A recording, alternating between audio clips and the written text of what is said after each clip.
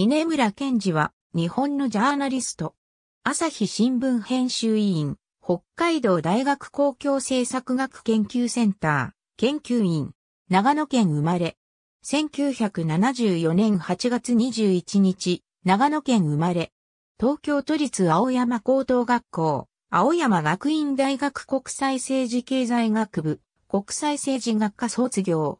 1997年、朝日新聞社入社。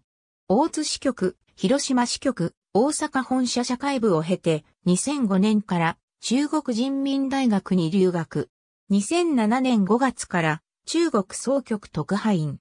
2011年、中国の安全保障政策や情報政策に関する報道により、ボーン、上田記念国際記者賞受賞。2013年6月からハーバード大学フェアバンクセンター中国研究所客員研究員。2014年から国際報道部機動特派員を経てアメリカ総局員。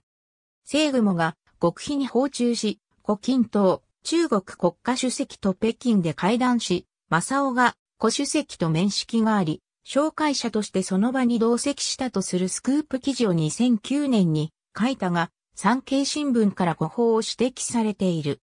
中国共産党第18回大会の閉幕直前、中央軍事委員会主席に残留すると見られていた、胡錦涛総書記の全面引退予定をスクープ。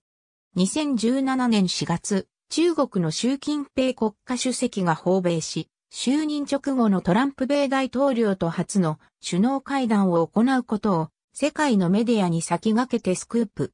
米国トランプ政権が2018年2月にインド太平洋地域の戦略を策定した際にまとめた内部文書を入手し、特報した。